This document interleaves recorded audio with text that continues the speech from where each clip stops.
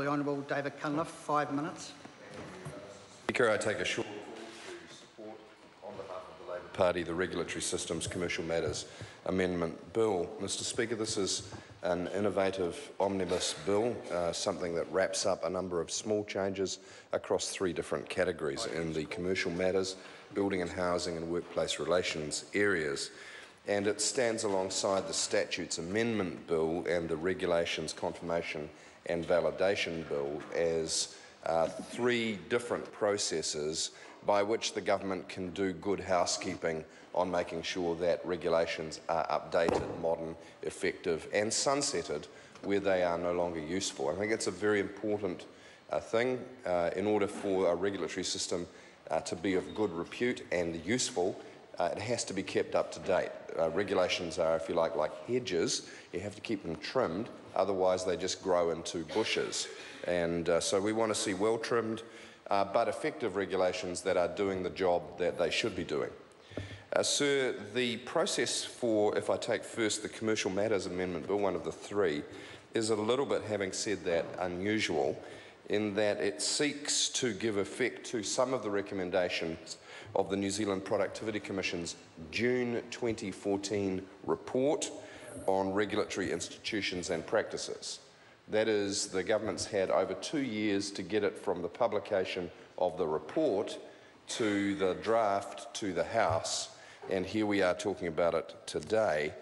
Sir, but the House has only had a couple of days to consider the material that's here. And there seems to be something a little bit out of kilter, if you'll forgive me, of a two-year time frame for the government to do its work and then slamming it through the House process. We expect, of course, that the material here will be considered by select committees in detail. Uh, we support that process. We look forward to the feedback from the committees. Um, I'm sure all uh, current and former ministers, however, would share one rule of thumb. Whenever an official comes in and says, Minister, don't worry much about this, it's just a purely minor and technical amendment, it pays to have a really good look at it because they're not always minor and technical. Sometimes uh, dressed up in that technical language can be quite profound and important changes. So I'm sure that the Select Committee uh, will give uh, due uh, regard due diligence on a number of the matters here. And some of the acts that these provisions in the Commercial Matters Amendment Act touch upon are all very, very important uh, acts. The Companies Act 93, the Financial Markets Conduct Act 2013, the Financial Markets Authority Act 2011, the Friendly Societies and Credit Unions Act 1982.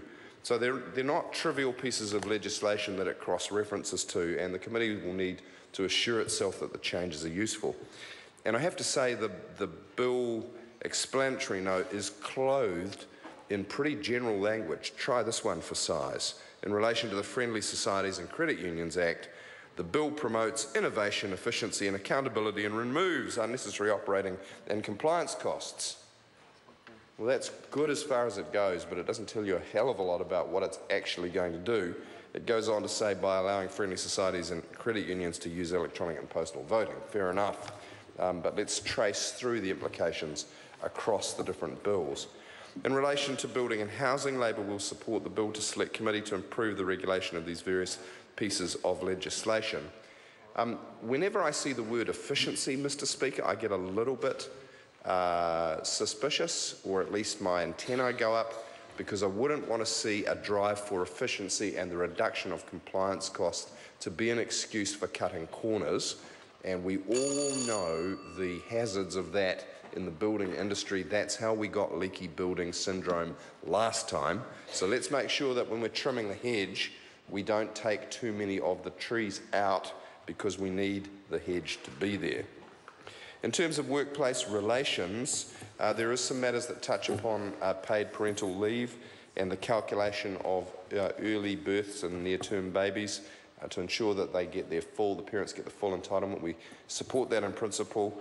Um, we think the government's been pretty miserly and uh, pretty uh, focused on the PR rather than the substance, if I can put it like that, in relation to paid parental leave, where they've done just enough to get the public off their back, but not enough to really do enough for parents. So if this bill gives us an opportunity to revisit that, we'd be very uh, happy indeed, sir.